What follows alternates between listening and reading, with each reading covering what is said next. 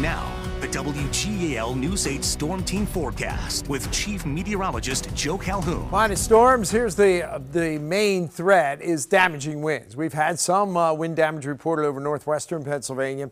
Could be some hail though, and a tornado is not out of the question. We have seen a little circulation in some of these storms. It's not out of the question, and uh, we're up the flooding to a low possibility. They're moving fast, but they're putting down some pretty heavy rain. Severe thunderstorm watch up till 10 for the entire area. But here's the line. We talked about this yesterday. We said it would be scattered, not a whole lot until late in the day. Here is that line we've been talking about. But you notice there's getting these little wiggles along the line. This is that area. I really thought they'd extend that warning, but not quite yet. There is a warning up to the north, up toward uh, Columbia County, but also to the south.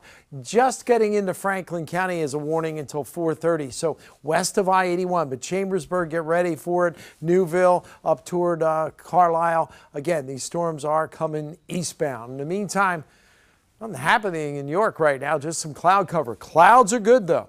We got some sun for a while. I was getting a little, mm, little, little uh, worried about that, but the clouds have come back in. It's been a windy afternoon. Southwest winds 20, gusting to 28. Dew points are now in the 50s. Early in the week, they were down to single digits. So alert period through this evening, strong to maybe severe thunderstorms. Winds the main culprit, but again, watch for some hail, maybe a spin up tornado.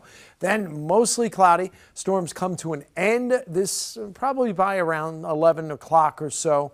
Breezy and mild, could be a few leftover showers. That's about it. Clouds and sun tomorrow. I think we start with a little sun, we cloud up, then we start clearing late in the day. There could be a rain or not out of the question even a few wet snowflakes mixed in. Temperatures are quite mild. Off to the west, they are starting to cool down. But the front, the actual cool front, is still west of Pittsburgh. This line is in advance of that uh, and is going to continue to move eastbound. Look at the southerly winds. Here's the westerly winds. This is where the line is. But the cold front is still just off to our west. That'll sweep through with these storms and end things later on. So let's time it out uh, will fall with the rain back into the 60s, but here it is about 8 o'clock. You see the line coming through Lancaster County around 222 into southern York County. Moves out, could be a few leftover showers, maybe a rumble, that's it. Overnight, we're down in the 40s. Tomorrow, yeah, those hit and miss rain and even some snow showers. We could get up near 50, but I think we'll end the day probably in the lower 40s. So it's going to get cooler. Going to be a windy day tomorrow. Wind gusts over 30 for most of the afternoon. They settle down as we head into Saturday. So tomorrow, again, some clouds, but then it looks like a few rain and snow showers in the afternoon. Clearing, blustery for, for tomorrow evening. Saturday looks okay. A few showers on Sunday.